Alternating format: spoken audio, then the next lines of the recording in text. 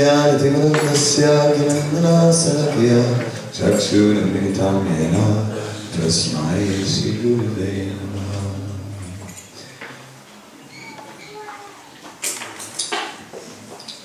Well, um, so we're still staying on the um, on the point of personal conviction this afternoon. We will not uh, move on because there are a few more sessions, and I think that um, this is the basis of everything. Um, after that, we can talk about faith in our community and you know how we live together and so on, and uh, what is realistic in the world that we live in. Because sometimes you get faced with, well, what I call a cultural transplant. Um, Srila Prabhupada, of course, came to the West and he brought uh, Krishna consciousness and brought it into the West. And it was like Tulsi coming to the West for the first time.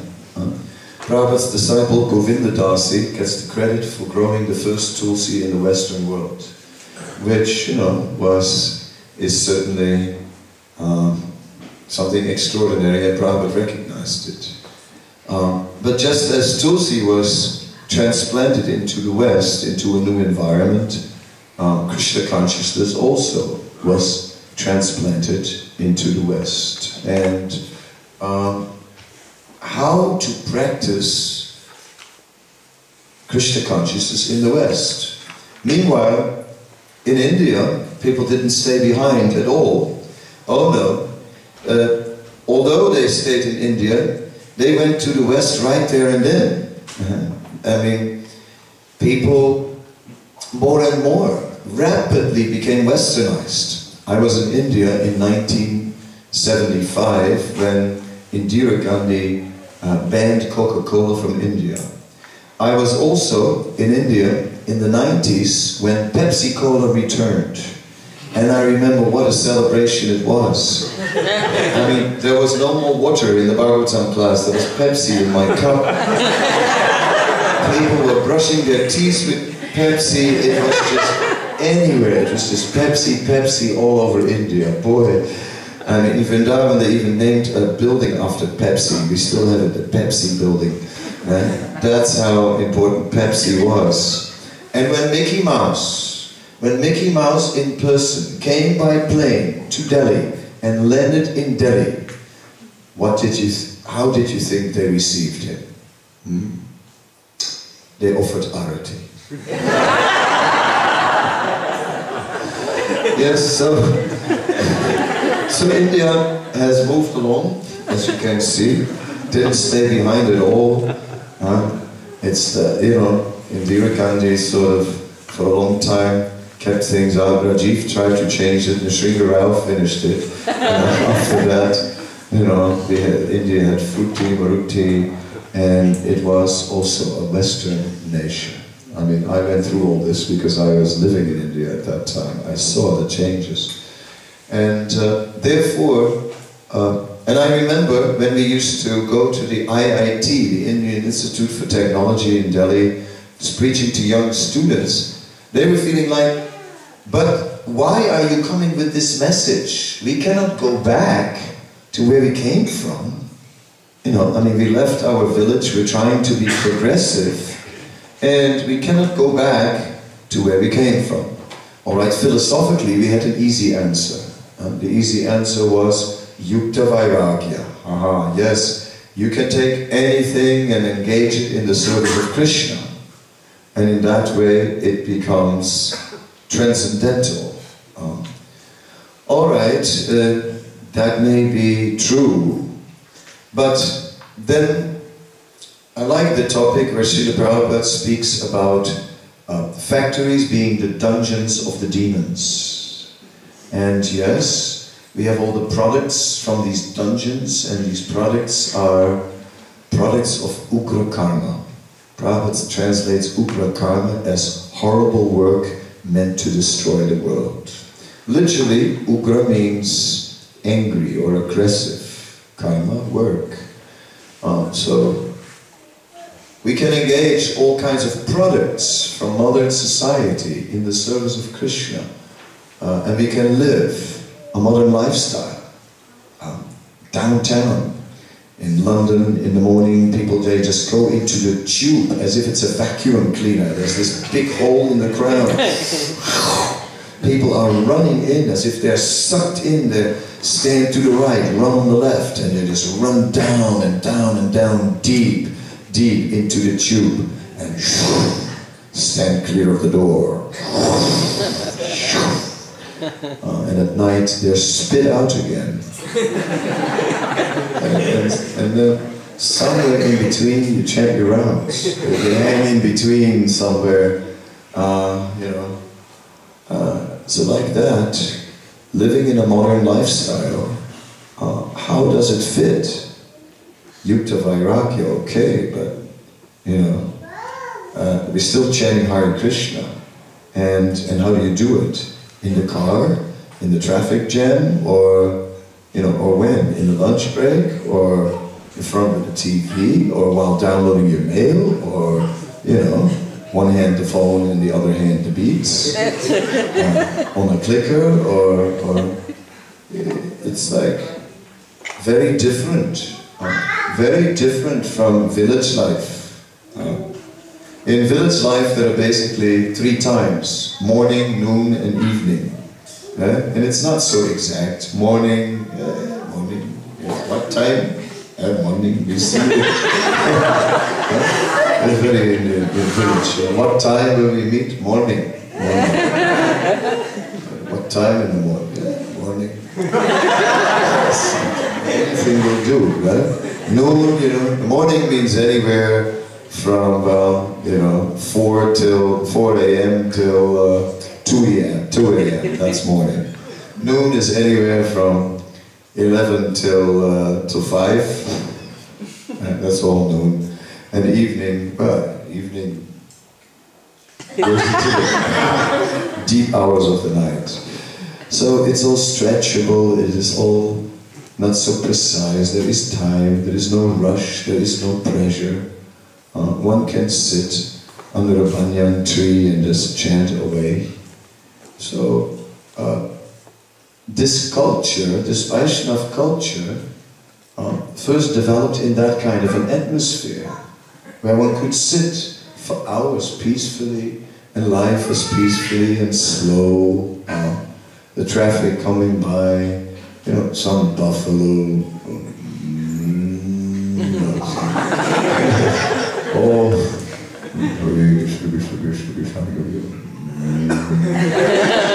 so in, it's a whole different thing.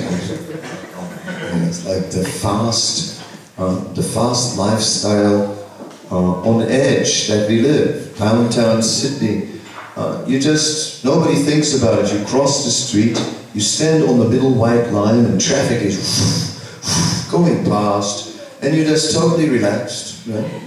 This guy's like almost driving your nose off with big buses and you stand there as if it's the most normal thing in the world. totally not fazed out. Uh, uh, so what is, is our modern lifestyle doing to us sometimes? Um, sometimes you think we struggle because of the world we live in. And if we would live in, in another world, it would be so much easier. Oh, so difficult. Krishna consciousness is difficult because you can't eat anything. Eh? Everything is messed up some way or other. But you have to read 20 times the label, the E numbers, the this, that. Uh, I mean, uh, it's difficult very difficult. Whereas in Vedic culture, you could eat practically anything, just offer it, off you go. uh, so there is a lot of undue stress on a devotee lifestyle. And uh, I think the environment is, um, is difficult. Srila Prabhupada tried to create alternative environments uh, communities of devotees who would live together and practice their Krishna consciousness and that. And that was uh, in itself a good idea, but there was, for a while it functioned, but eventually the trust broke down. Because if you live all together, then it's only possible if there is trust and if people are trustworthy. Trustworthy means that they are really going to look after each other. That didn't happen. And therefore, everyone started to think, well, we're going to rely on ourselves. So, the, the International Society for Krishna Consciousness went through an interesting development.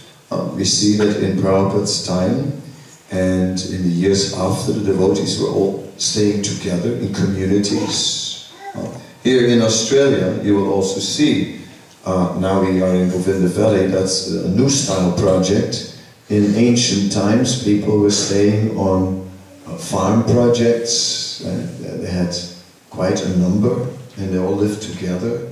We still have some left over, uh, and Govardhan, but then you see like what's it called, New Nandagram near near Melbourne. Uh, nobody really living there anymore. Uh, it's like that because that I that faith broke. The faith that we will just live in our alternative devotee world where everyone will nicely take care of each other everything will be based on Vaishnava principles and then uh, uh, it doesn't work out like that. The management is not always so sweet, and before you know it, you say, I want my own house, I want my own fence, I want my own everything, yes, and then I'll chant Hare Krishna. And before we know it, we're back in the world. So therefore, I'm bringing this up because I'm looking still at it from the personal perspective. So uh, one has to understand that faith um, is, is not something you have or don't have.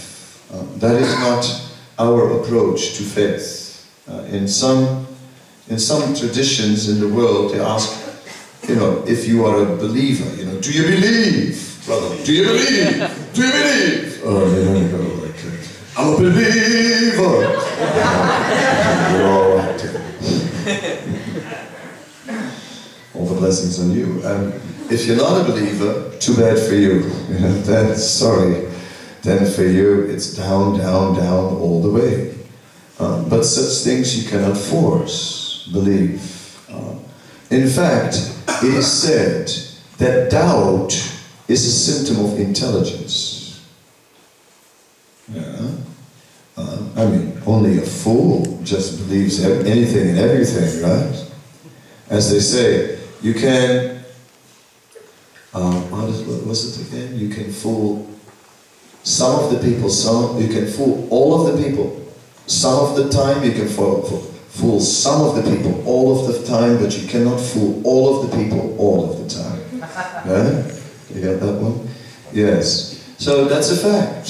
Uh, that uh, we see through things. Uh, we see that people are cheating. We catch them. And therefore there is doubt. And doubt is sort of necessary. First we must investigate. Uh, Prabhupada said to one, there was one boy in New York who was serving Prabhupada so nicely. So nicely. And he would open the door, he would always be attentive. Prabhupada needed, needed water, boom, the cup was there. And one day Prabhupada said to him, he said, if you come on sentiment, you will leave on sentiment. And after some time that boy left. And Prabhupada saw through him. He saw he doesn't, he hasn't investigated. He has a nice attitude, but he hasn't really investigated what, what is actually, uh, what are they actually saying here? What are they actually believing here? And does it make sense? Right? One has to investigate in Krishna consciousness. If one simply walks into the door and is there and sort of like, well, you know, uh, uh, I never really thought about it. I, I just, uh, you know, I kind of like it. Uh, that's not enough. No. We must go deep in what is, what is Prabhupada really saying? What is the Bhagavatam really saying? Uh, what does it all, what are the teachings? We have to thoroughly understand it. Because only then, only then our faith can be complete. Therefore they say tattva. Tattva means the philosophical truth. One has to, it's a tattva is the basis for rasa, for experience. Without tattva, the rasa cannot be complete. Uh, it is understanding in tattva that makes things deep. Uh, so Prabhupada was giving a lot of philosophy. Uh, he was not telling so many nice stories about Krishna and so on. He gave a lot of philosophy as to give us reasons why to be Krishna conscious. Um, definitely. Still, he also gave us many, many nice things. Uh, he gave us um, many descriptions about Krishna. He translated 10th canto of Bhagavatam, Krishna book. Or he gave us also descriptions of Krishna in the Nectar of Devotion, um, where we could uh, actually see the qualities of Krishna and become attracted to Krishna. So both go hand in hand. Um, one has to understand thoroughly what is the difference between Krishna and Narayan. Um, what is the difference between Krishna and Balaram? What is the difference between Krishna and Balaram? What is the difference? Huh? I'm trying to hear. Somebody is mumbling, but. One's black, one's white, one's cervical, One's black, one's white. one's cervical, and one's original. One is master, one is servant. Yeah, The expansion of Krishna is Balaram. yeah, correct. Yeah, because Prabhupada often says there's no difference between Krishna and Balaram. The same, the same Supreme Personality of Godhead, but in a different mood. But the same. Otherwise the same. The very same. Uh, who knows all these things? Right? Who understands all these things? So one must understand how, how the Lord expands himself. Um, uh, so that, and what is the Lord doing in all these expansions? Krishna, uh, Krishna is, is absorbed in his own pleasure pastimes. Krishna is not going to bother with the material world. Uh, that concept of, you know, we spoke this morning about 144,000 people going to heaven and the rest is on the kingdom of God on earth and the guys in heaven have to work. Then better stay on earth, isn't it? Yeah, if you have a job in heaven, uh, better be here. So, Krishna in the spiritual world is not concerned with the material world. He has nothing to do with the material world and his eternally liberated associates also. They have nothing to do. Krishna's expansions deal with the material world. Uh, and the demigods deal with the material world. But the liberated souls, they don't deal with the material world. They are in the spiritual world. So we have to first thoroughly understand um, the philosophy of Krishna consciousness. Who is Krishna? Uh, it says in the Bhagavad Gita there are five topics. Uh, these topics are Isvara, that is Krishna. The topics are Jiva, the living being, and then Karma, uh, then Prakriti, the material energy, and finally time, Kala. And these are the five topics. So it's basically uh, the living being is, is entangled in karma and therefore gets bound by time uh, due to the fact that the living being is trying to exploit Prakriti and therefore the relationship with the Supreme Lord is not able to manifest in its full glory and so on. So in this way we can understand uh, some philosophical points. Um, that is there. Well, I told you that uh, if I would have made my mind map, that it would have been definitely different from yours. I would have put uh, Prabhupada as my principal route. the, the, the main reason why I'm here is, is because I understood that Prabhupada was different. I understood that he was representing Vedic culture. Haha. and I had, uh, I had before I came across Prabhupada, I had done some reading in some literatures, and I had met many Babas in India, this Baba and that Baba, and uh, most of the Babas, to tell you the truth, were always smoking ganja, and that was mostly what was going on. And uh, plus, then if they would see me as a foreigner, they would say, uh, what is your name? What is your country? Yes, can you give some cheese? Every time. So it wasn't very, they weren't very spiritual, they weren't very convincing. Um, then, you, then there were those who were more sophisticated in various ashrams, um, but they invariably had an impersonalist view, always the same thing, it's all Brahman. And uh, I had my doubts that it stopped there. I was not satisfied with this Brahman concept.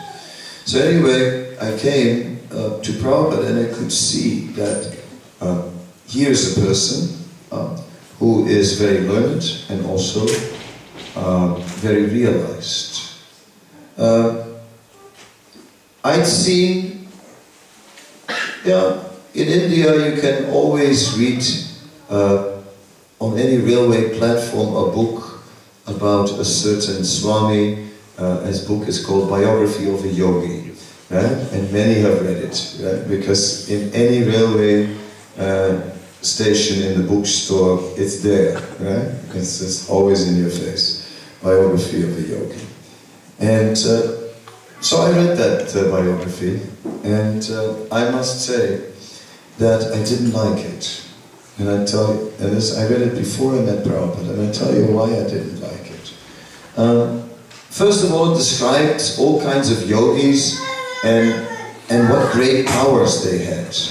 There was one yogi, he was so powerful, he was able to fight with tigers with bare hand. And one day, that yogi just knocked a brick out of the wall. Okay, some sort of karate. I wasn't overly impressed. And then, you know, uh, so in this way, one day, one day, the writer of the book came, his guru was visiting, and the guru was in the room next door. And when he came in the room next door, his guru was sitting on the ceiling. Like, wow. And then Guruji said, so, what would you like? Um, he said, pomegranates from Kabul. Guruji said, go look in the room next door. And yes, there was a big branch full of big juicy pomegranates. Wow. Um, again, I was not so impressed uh, because I had studied something about mystic power.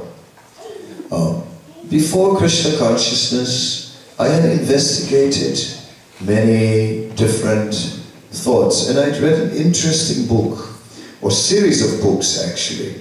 There was a certain person named, uh, who had, Carlos Castaneda, and he had met in Mexico uh, a person who was from an Indian, red Indian background and who had uh, mystic powers and so on. And he was teaching him. Uh, he was teaching him. So he taught him different tricks. And he taught him how to run in a forest in the dark without hitting a tree. Well, that's impressive. He taught him to look in a particular way and you could cross, you could see energy lines in water. And then, if you st stepped on the cross points, you could walk on water. And he walked on water, and all that. Well, you know, okay, he walked on water. He was able to run in a forest in the night. So it was interesting. I, I bought book number two. It went on all the way up to book number four. In book number four, the, the man with the mystic power, he had all the mystic power now. And then, the time in book number four, he was facing death. And death came before him. And with his mystic power, he was engaging in a mystic dance with death and warding off death until at the end he lost and died. I took the books and threw them in the bin, you know. I said, this is garbage, right? He, all that trouble and what happened? He lost anyway. Right? So I could see that mystic power does not go beyond death. Uh, mystic power may give us now some temporary power. Okay, there are many ways to get power. Right? I mean, missiles also give you power. Right? Uh, you know, an, an M16 is also quite effective. Uh, there, there, are many ways to get power in the world. Uh, um, so, modern, Prabhupada also mentioned, modern man has achieved many of the things that previously the yogis were doing with mystic powers. They're flying in the sky, they, and things like that. Yeah. So I could see it is temporary. The result is temporary. That's not interesting. When by the time I came to Prabhupada, uh, I found many things that I recognized, that I had already been thinking. I found, I had already been thinking, yes, I was a vegetarian uh, for a long time, and I was, uh, that was obvious. And uh, this mystic power, I was not impressed by it. Um, um, I had taken many things from different sources. The other day, I was in a university and someone asked a question said, is it in Krishna consciousness that we at one point find that many of the things we believed before that we just have to realize it's all rubbish and that we have to reject it all. I said, no, it's not like that. It is that we should realize that many of the things we were into before were incomplete. Um, I used to, well, as a kid, I had comic books. Yeah? And most kids have comic books. And my days, the Tintin was the big series, you know. And you may not have read Tintin. If you haven't, if you have, well, then, yeah, then you're lucky, you know. if you haven't, what can I say? Um, one, one is particularly good, Tintin in Tibet, right? Because besides Tibet, uh, he's also in India, and there is a holy cow, right? The sacred cow is on the road, and uh, a lot of uh, spiritual elements were, were in that comic book. Was my favorite one. I always liked it. so um, I was attracted to these these things, and um, mm, so it also raised some interest in Tibet. So I decided to, um, when I grew up, I read the Tibetan Book of the Dead. Many of you may have read it, many of you may have not read it, whatever, I read it. Um, and uh, within that book, there is a description about life after death. Yeah? And it describes what happens with the soul when it goes out of the body and how there are different confrontations with divine manifestations. And the soul who recognizes becomes liberated. So, okay, um, it's established for, it established something that I also thought already myself. I thought, yes, there is eternal life. There is life after death. I felt it in myself. And just reading that book reconfirmed it.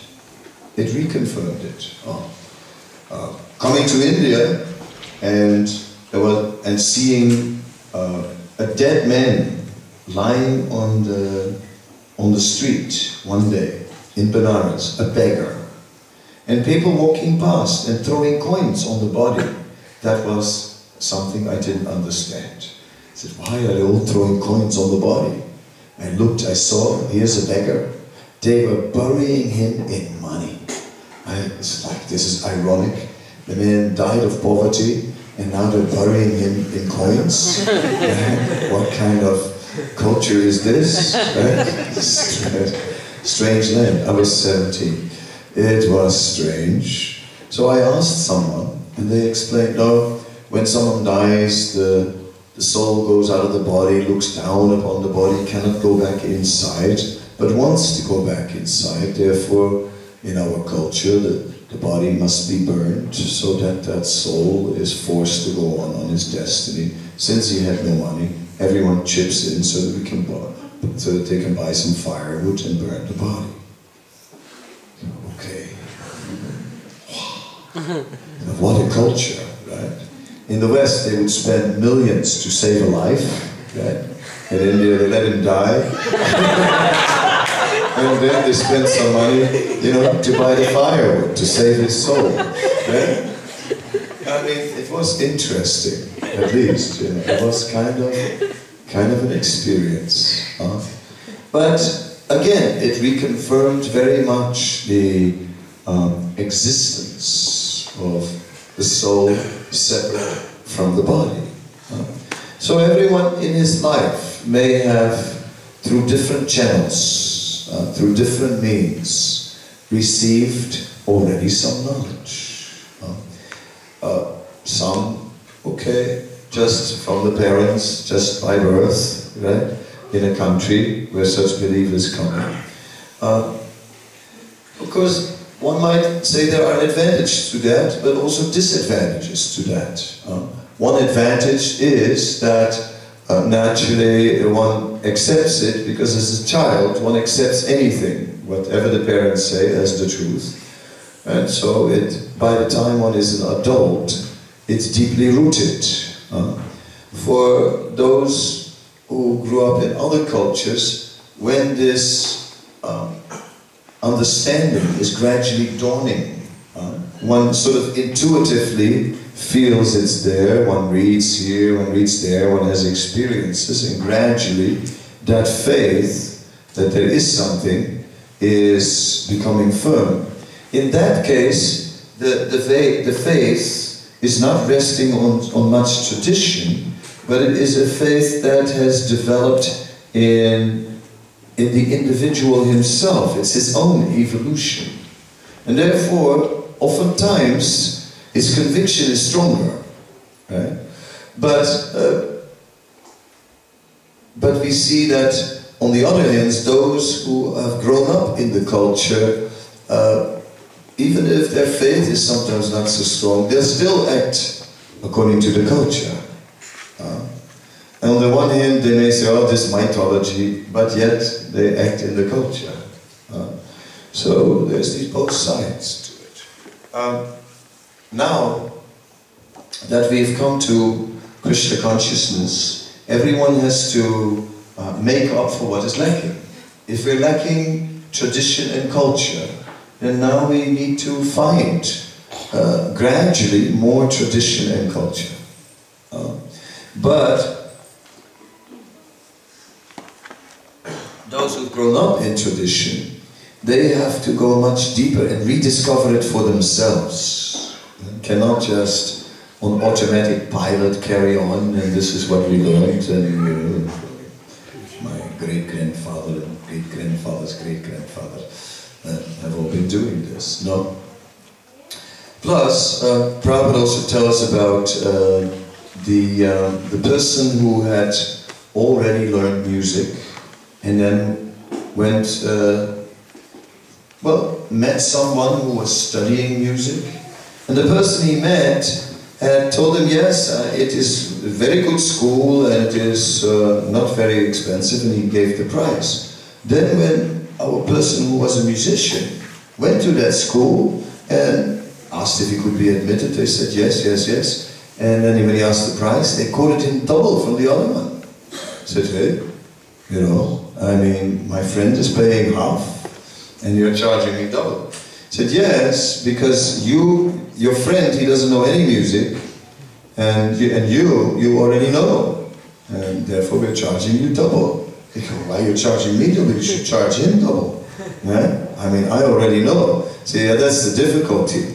Because you've learned so many wrong habits, and now, you know, it will be hard to make you give them up and for you to learn it properly. Whereas the other guy, that's much easier. Uh, he doesn't know. So, it is like that, uh, that we must understand that um, what we are, are learning from Srila Prabhupada is something we don't know. Ah, yes, Swamiji, it is so nice to meet you. You are, yes, uh, I'm so happy. Yes, we've been doing all these things, yes, for so many generations in my family. No, you haven't. No, you haven't. I am so sorry. I am so sorry. With all due respect to all the generations, uh, you have not understood who Srila Prabhupada is. You have not understood what he is representing. You have not understood that what, you, what he's teaching is more. Uh, everyone has to pull his socks up, so to speak. Right? Everyone is put on his toes. Everyone, all of India, uh, would have to, if they would adhere to what Prabhupada was teaching, would have to come up in their standards a lot. Not a little, a lot. A lot.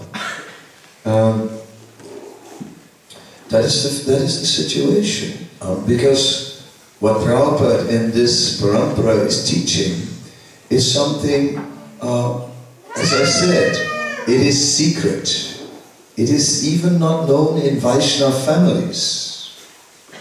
Because even these Vaishnava families are not coming in a sampradaya, uh, are not coming the Vaishnava families from Gujarat or Rajasthan or anywhere in India, uh, north, south, east, west, even they are not, uh, uh, by far not complete. And, and, we have to come to that point to, to understand that if we really want to be devotees. Uh, same thing in the, in the West. We, we, we are dealing here with something that is beyond anything we've ever done. And therefore we must be in that mood from, all right, um, I will rearrange my life now according to Prabhupada's directions. Uh, that is uh, the unique uh, position that we have in dealing with Srila Prabhupada. We're dealing here with someone uh, who was actually uh, the chosen person to bring this, this, the teachings of Sri Chaitanya Mahaprabhu from east to west. Uh, Sri Chaitanya Mahaprabhu appears once in a day of Brahma.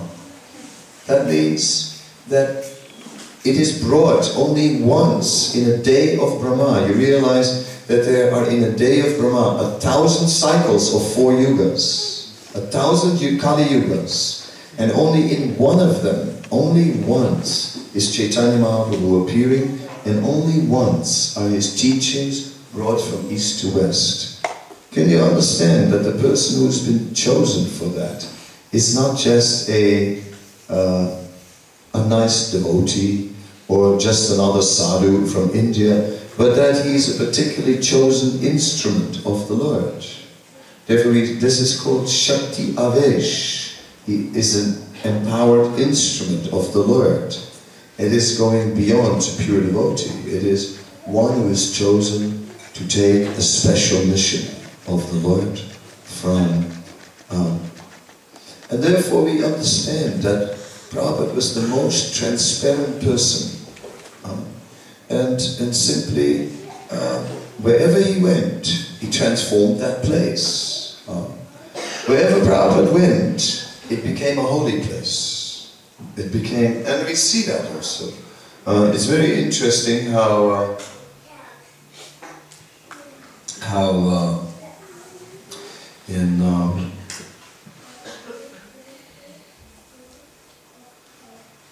yeah, when Prabhupada is in America, he said that um, whoever gives a thousand dollar donation for my book production, my book fund, and who is giving a ticket for me and my secretary, that's where I will go. Hridayananda Maharaj said, okay, I'll do it. And he took Prabhupada to Gainesville. Now Gainesville is a place in the middle of nowhere. It's in the whoop whoops, it's in the sticks, it's, it's way out there, I'll tell you that, folks. And, you know, it's, it's just nowhere, uh, in, somewhere in Florida. Um, and now it's bigger than it was then. So Prabhupada agreed, went to Gainesville, and somehow or other now, right, uh, in Gainesville, just outside, is the biggest uh, community of ISKCON devotees in the world. Uh, Alachua, where so many families are living together. Uh, and it's exactly in that place where Prabhupada went. What do you think? Coincidence? Hmm? Hmm. No. And, and if you ask people, why did you go? They said, oh, the land prices were, were cheap. Mm-hmm. Yeah. That's, I, I don't think that's why you went there. I think simply because Prabhupada blessed the place. So we can, I can give, I could give a very long talk about the glories of Srila Prabhupada and I don't want to do that now because uh, we have about 25 minutes and I've spoken the whole morning and I spoke spoken now again. And uh, but I wanted to make this point about Srila Prabhupada um, very, very clear. Um, he is dear to Krishna. And by and to go to Krishna, one must go to one, through one who is dear to Krishna. Uh, that is the system. One cannot go to Krishna directly. One must go to one who is dear to, through one who is dear to Krishna. And in that way, uh, we can learn. Uh, we, we must be very careful to uh, understand who Srila Prabhupada is. Yeah. That's very important. Uh, first of all, who he is as a person, what he did as a person, and then we should read his books.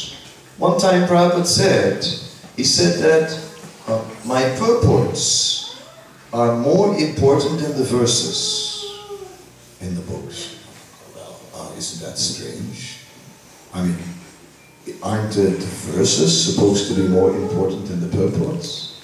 And Prabhupada, no, the purports are more important than the verses. Because without the purports, you cannot understand the verses. That makes sense, if you think of it like that. Uh, so therefore, uh, it is Prabhupada gives us the teachings, and Prabhupada gives us the blessings. Uh, and by these two, uh, you know, we do a whole life of devotional service. We chant a whole life of, uh, of miserable rounds every day again. You know, uh,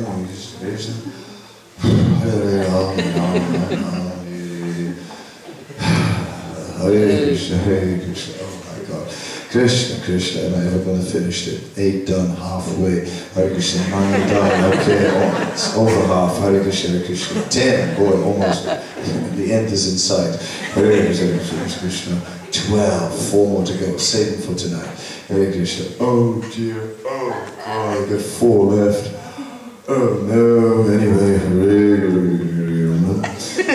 very quickly, uh, and in that way, uh, we are full of love and devotion, chanting the holy name and offering to Krishna from the heart, you know. The happiest moment in, in our chanting is when the 16 rounds are finished. Uh, I'm sorry to, to be so blunt, but uh, so you know, you do do you, do we honestly think that this chanting that we're doing is going to attract the Supreme Lord? Krishna is listening to these broken names. Oh my God! Ah, he sits there like, oh. Huh? I mean, but then, uh, then there is is Prabhupada. uh, the pure devotee whose, whose prayer is there. Uh, please, they're trying. Please accept. Please take them back. Then what's Krishna going to do? Yeah? What's he going to do? What can you say? Uh, you know you know, when your wife says something, what are you to do? Uh, when Prabhupada says, what's Krishna going to do? He's like, they're close. Therefore, these blessings of one who is very close to Krishna are much more powerful than all the service that we can do in a lifetime. Because our service is so small and his service so significant that we should understand. I just wanted to emphasize that so that we kind of see how important Srila Prabhupada is for us. We need his teachings and we need his blessings. These two are, are essential to us. Okay, I, would like to now uh, invite you to, uh, to ask questions if, if you like. Whatever questions you have so far. Uh, we have stirred up, I've tried to stir up different things in the morning, uh, in the afternoon. I took it a little, uh, took it a little bit about East-West and cultural transplant and then Prabhupada. If you have any questions, then, then please now ask a question. And then we spent the last 20 minutes for Q&A. And then we'll have a little bhajan. That's the plan. Yes. Alright, in, in the Bhagavad Gita, Krishna says in a simple, uh, in simple way that if you always think about him, then you will reach him. But when we start to do the devotional service, when we are in one level and then the complexity increases and then you got to do this thing and this thing and then the whole becomes, the whole everything becomes a, you know, like, Complex. it's like, can we do it? So how do we tackle that? Yeah, in the beginning we say, just chant and be happy. uh, and then things like that. with time, the um, the complexity, the, the responsibility in our practices uh, increases. Um, yes, uh, how can we be successful? Um, well, with time we also realize that we're that we're falling short. Uh, we become more and more aware. Like at first initiation, it's about uh, following four regulative principles. At second initiation, it's about developing Brahminical qualities. So the first one is about what you do, and the second one is what you're supposed to be. Doing things is one thing. Being, uh, being saint, doing something saintly, okay, even when you're the devil himself with a tail, you know, you can sometimes fold your hands and, you know, and say, Govinda, Adipurusha,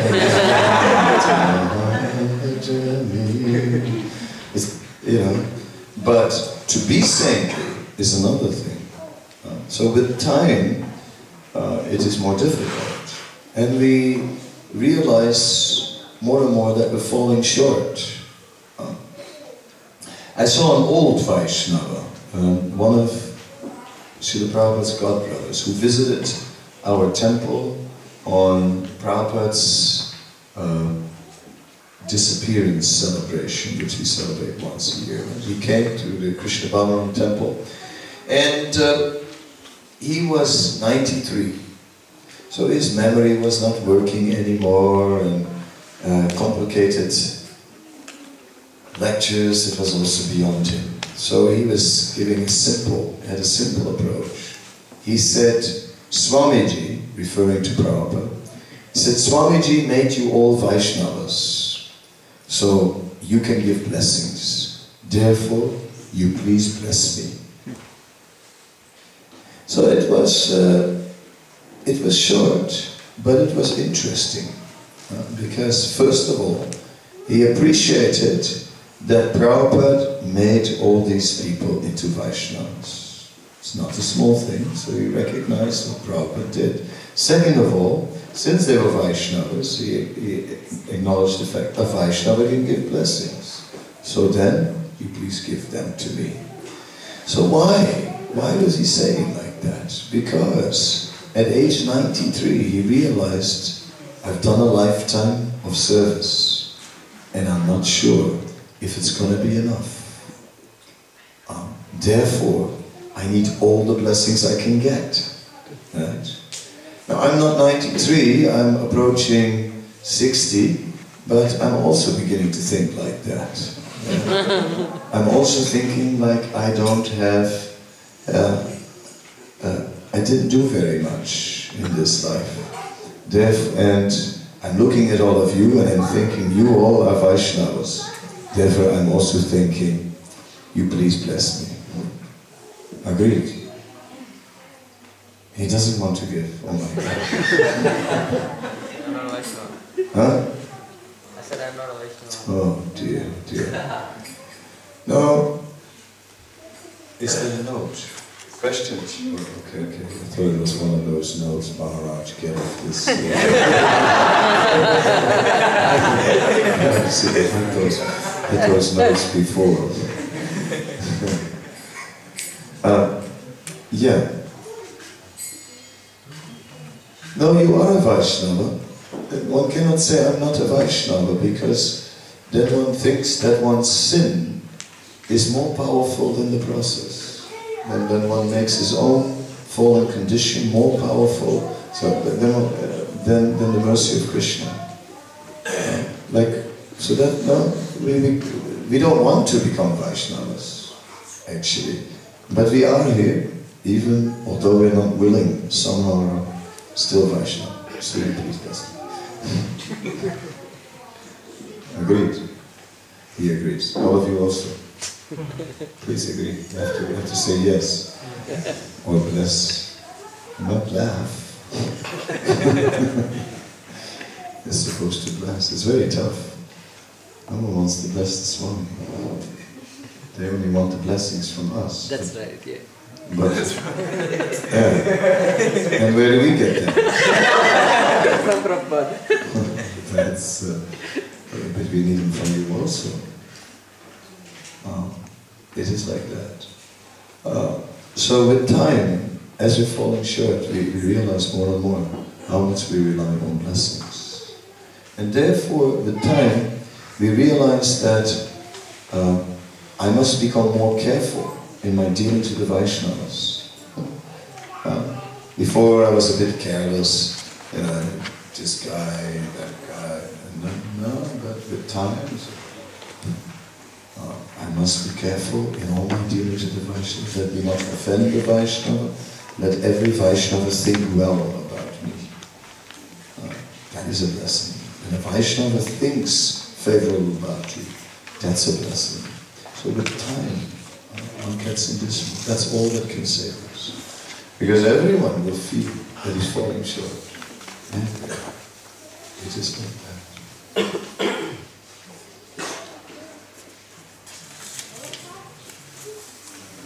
You were talking about Srila Prabhupada and his exalted position. How does one increase his faith that Srila Prabhupada is, a, is in a unique position without minimizing the importance of other teachers? Um, well, there are many teachers before Srila Prabhupada in, a, in our Sampradaya who also play a very major role. Uh, we see that uh, Sri Chaitanya Mahaprabhu is there, then, then the six Goswamis. They are amazing personalities, brilliant personalities, learned. They write all the books. Uh, uh, then Krishnadas Kaviraj Goswami, amazing uh, personality. After him, Narottamdas Thakur carried the weight. He was the one, the embodiment of the brain of, of Sri Chaitanya Mahaprabhu. It is uh, every day we are chanting songs of Narottamdas Thakur. Uh, Narottamdas Thakur had an enormous influence on our spiritual life. Because we're still looking at him. Vishwanath Chakravarti Thakur is taking inspiration from Narottamdas Thakur. And Vishwanath Chakravarti Thakur, uh, he gave us so many insights in, in the Vrindavan pastimes of Krishna. And we sing every day the Gurvastakam at Mangalarti. Guru Puja is Narottam Das Thakur's song. So like that, uh, these acharyas are very much part of our uh, lives. So we respect them all. Then Bhaktivinoda Thakur begins to create, uh, adjust Krishna consciousness to the modern world. Then Srila Bhakti Siddhanta, such a brilliant personality, just like, uh, what a preacher. You know, he had a festival in Calcutta, the Maidan in Calcutta, which lasted one month. And he had, that festival was, uh, was huge. There was a map of India on one acre, which was all made out of, uh, of cement, and you could walk through this. And on this map were all the places where Sri Chaitanya Mahaprabhu went when he went through South India, also the places where Nityananda went when he went to all the holy places, and all the temples of the Gaudiya Math. So you could walk through this one acre and you could just make a whole journey through India. Then next to it there were many, there were acres with exhibitions and all these things. And this was only this, the spiritual part. Then he had around it, on the outside, he had uh, cultural things from different states of India. Every state had some representation and would show some local traits from their state, some cloth, some this, some that. Right? So in that way, uh, it was a theistic exhibition, that's what they called it. And it lasted for one month. Millions, crores of people would go through there uh, in this exhibition. I mean, that is enormous, enormous what he did. If we would do anything like like that in Sydney, imagine, you know, an enormous show which was going for one month, attracting millions and millions of people. I mean, that's what he did, just to name something. So many things. So Srila Bhakti Siddhanta was also a spiritual giant. And then Prabhupada. But Prabhupada is the one who kind of, okay, this I think it's enough. It's, uh, I'll keep them. Thanks. uh, uh, I'll definitely keep them all. No. Okay. Thanks. Uh, that's really nice of you. We'll, uh, we'll definitely keep them in a box and every once in a while pull one out uh, for the rest of the seminar. Um, anyway, so uh, we can appreciate all the previous acharyas, but Prabhupada um, particularly put Krishna consciousness in the form for the modern man, and that's us. We're all modern men. We live in modern times. Prabhupada said, this yes, this no. He established the standards for us today. Therefore, we must go through him. And now, his followers, amongst his followers, there are also many exalted personalities. But they do not change the standards. They uphold the standards that Prabhupada gave. Prabhupada established the standards for modernity. We are simply bringing those standards. Therefore, uh, therefore he is Prabhupada, at whose feet all masters sit. So in this way we can fully appreciate Srila Prabhupada without minimizing him. It seems that the Western world has become, in the last 40 years, so much more degraded. What can the devotees do to protect themselves? Uh, is the golden age predicted within Kali Yuga happening now? Yes, it is, because uh, this chanting of Hare Krishna is just spreading like anything. It's just amazing that more and more people are getting caught up in it. Uh, why? Uh, why any of you? Uh, you can see, you come to Australia to make a fortune, and what do you get? Krishna consciousness. Yeah? Everyone left India, uh, you know, to come to Australia to make to make yeah, material progress, and what happens? You make spiritual progress. People in South America, somehow or other, Krishna consciousness is there, Krishna consciousness is everywhere. And so, uh, it is for each of us, uh, not by our plan that we became Krishna conscious. It's all by a higher arrangement. Uh, we can see that. It's by some higher arrangement that we're part of this movement. We thought uh, that we were going to do one thing, and then another thing was happening. It means that the golden age is happening through us. It is happening through us. We are looking at the golden age outside ourselves, and we say, is it happening? No, we should look at ourselves. Then we can answer the question, is it happening? It is definitely happening, otherwise why would we be here? Because just by our own destiny, we should not be here.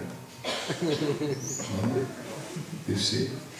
So the, and the golden age will catch on and everything else will fall, uh, will, will disappear. Can we improve our chanting with yoga? If yes, tell us some methods, please. Um, you see, chanting is not about a technique.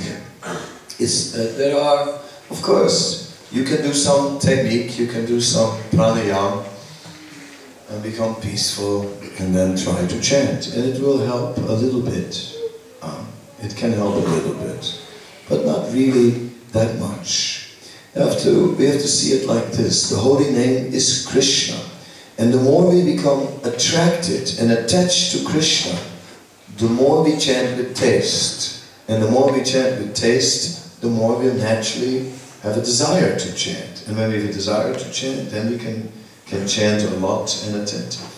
So therefore, we have to develop our attachment to Krishna um, more and more.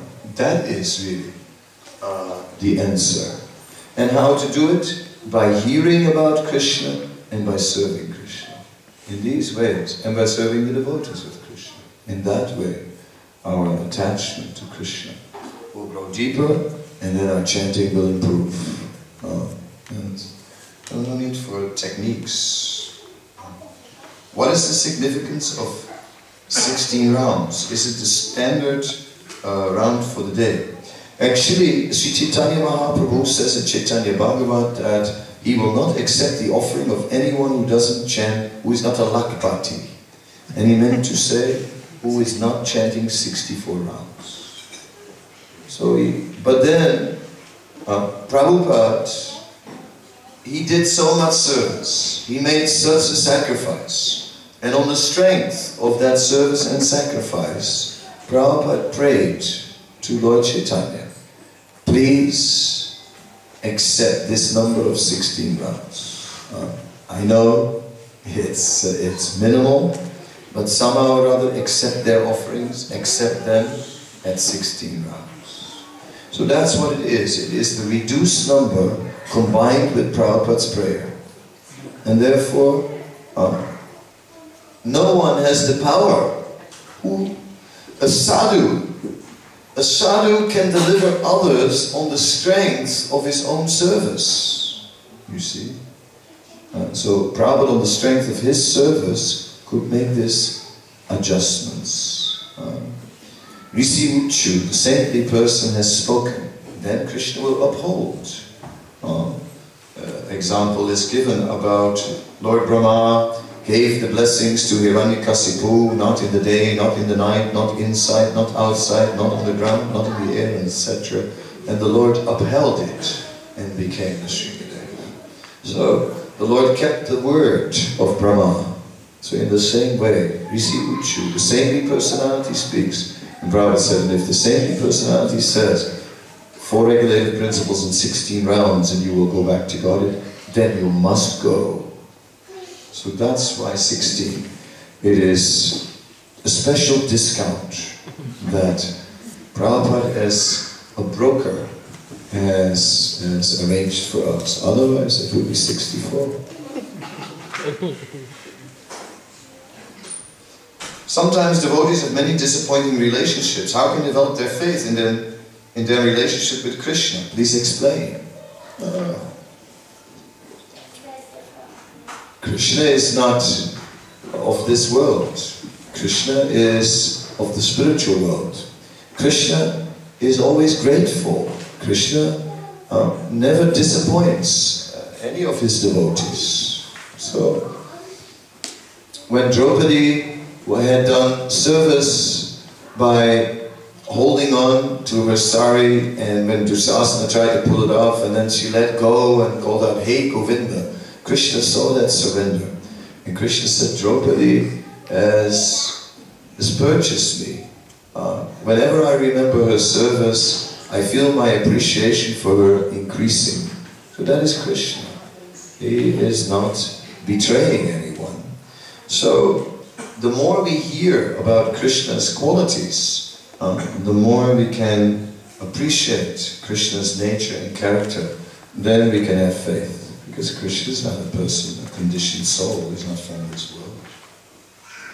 We talked about the roots of faith, having just Srila Prabhupada's blessings. Is it a strong enough root for faith?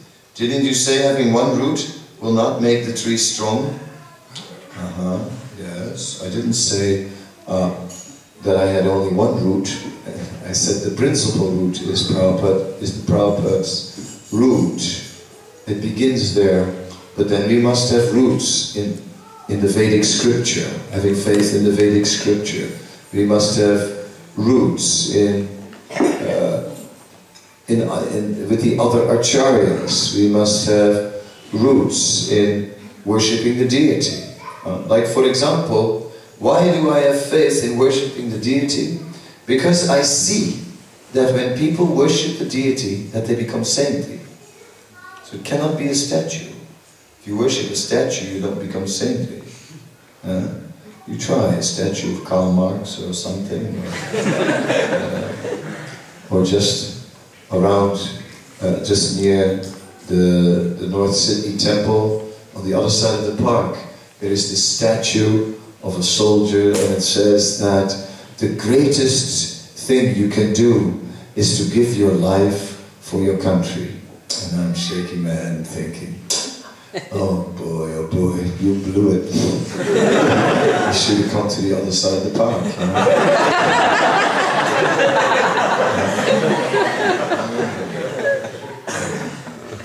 know? no, so we need many roots. That was the morning many roots. In the afternoon I spoke about Prabhupada because it's such an important root. But we need very broad root. We need learning in the scripture. We need to know the books. Because if you, Chanakya Pandit says, let not a day go by without learning a verse. Or at least half a verse, or a line of a verse, or one word of a verse. Such verses give us shelter. They give us shelter. We find shelter in them. Hmm. Yeah. We should be learned. But of course, we are a little lazy. Uh, all of us in this age. Always find an excuse not to, to learn a verse. But we should learn verses of scripture. We should really do all those things. So we need many roots. Uh-huh. Please tell us how can we improve our chanting? By chanting. and by hearing. And by uh, hearing our chanting. And by trying to avoid offenses against the chanting. Then, uh, somehow or other, our chanting will improve.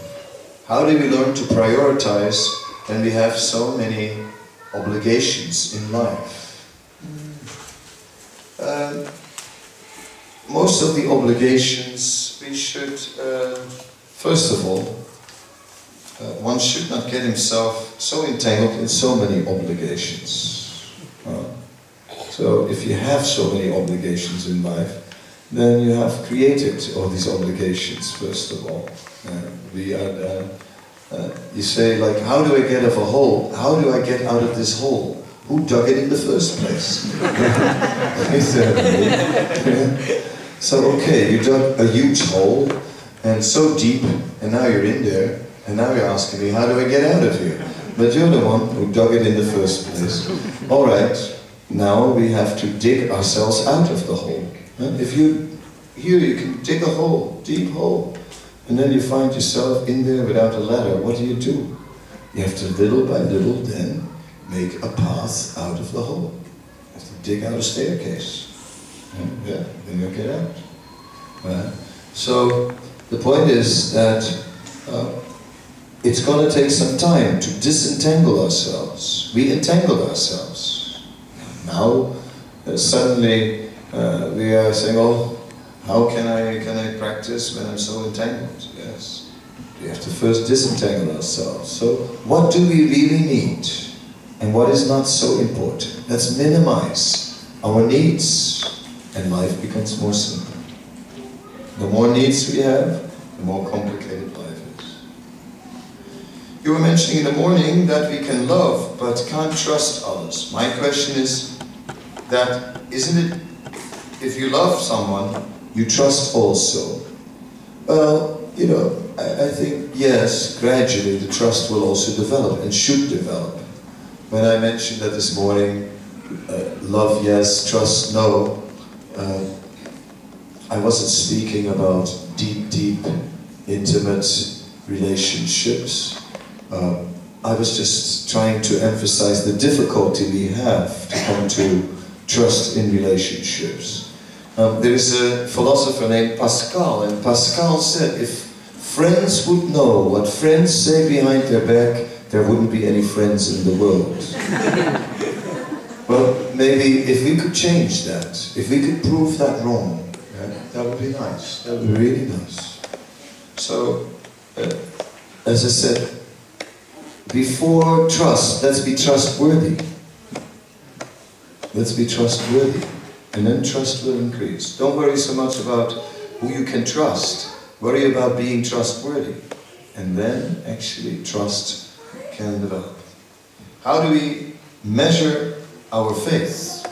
Okay, it is said there are three, uh, three types of faith. The Kanista, the Madhyam, and the Uttam Adhikari. Kanista has weak faith. He is full of material desires.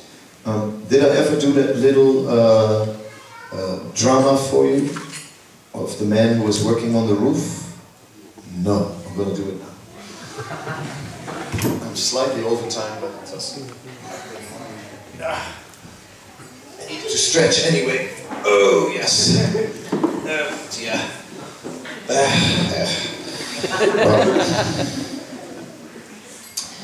oh, this roof, this roof has been too much, it's leaking, you know, all the kitchen pots are just like full of water, and it's enough is enough, you know. I mean, we've gotta fix it, right? So, it's a, it's a great sunny day today, and I'm up here, yes, way up here, yes. But, you know, I have no fear of heights at all. Oh, no. And I will fix this. And suddenly, slip. And then, last minute, thank God, I'm saved. Anyway, then I tried to pull myself up on the roof, but due to the regular prasadam intake and, and the lack of exercise, I couldn't get myself back on the roof. So at that point, I was hanging on the roof. I said, Oh God, oh God, please save me. A voice from behind. Need any help? Who are you? I am God. Oh God, oh God, please, please, help me, help me. All right, just let go of the roof and I will catch you. Uh, can't you catch me first? And then let go of the roof?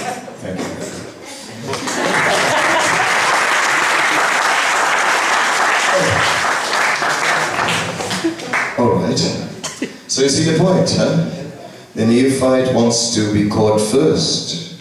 He will only give up all his material securities if if he gets the spiritual experience first. But no, the intermediate devotee is ready to give up material security just for Krishna with faith and then see what comes. The topmost devotee is always living in his relationship with Krishna. Like that, there are three levels of devotees. And is there absolute faith? Yes, that is the topmost devotee who knows that Krishna is that absolute truth. Uh, okay, this is the last one, and then we'll do a little kirtan. Whatever happens to us is based on our karma. Our every action, every moment is based on Krishna's mercy. Both the points above look contradictory to me. Krishna makes our karma, and again, based on Krishna's mercy, we experience our karma. Why is he playing this game with us? We're not playing our game. Now, uh, we make our karma. Huh? Yes. And that is going on. And Krishna, but as soon as we engage in devotional service, then our karma becomes dissolved. We become freed from karma. Devotional service removes karma. And therefore it all goes off the bill. Basically it's like this, you know, that, uh, have you ever been in a restaurant where they give you stingy portions? You know what I mean? You come, you order a thing and then it comes on the table and it's not what you thought it was going to be. And you're hungry, you know? So you say, is that it? You know, this is the Allah, you know, Allah flam? No, I don't believe it. Anyway, and then they bring, you order something more, and it's still not enough. And you order some, okay, bring some roti, bring some this, and everything is charged separately. At the end, you get a bill, the shock of your life, and you say, we didn't have all this. No way, no way, no, no, no, no, no, no, no. And then the waiter says, yes, you did. It was on this plate. Hmm. But that we didn't have. Yes, it came in this bowl. Hmm. But that, no. So with karma, it's the same. We are always thinking, I didn't do that. I didn't do this. But it's all on the bill, on the karma bill. Everything is there. But then when we begin to engage in devotional service, Krishna takes a pen. He just takes so many things off the bill. And at one point, when we are just surrendered enough, Krishna takes the whole bill, breaks it up, rips it up, and chucks it out. Then all karma gone. So do not worry, there is no game. We are the ones who are playing the game. It's not Krishna who's playing the game. We are playing the game. Um, um, we are, there is this rotating thing and we push it hard and then it comes back. Boom. Oh, why is it hitting me? You're pushing it. Stop pushing. I won't hit you anymore. Right? As simple as that. So that is karma. We are pushing and then it rotates and hits us. Yes. So if we stop pushing, then it will be over. Krishna is not playing with us. We ourselves are playing with Krishna's energy. All right, I, I left a few questions for Ron, for later on. Uh, now we'll uh, just have a little kirtan. And, uh,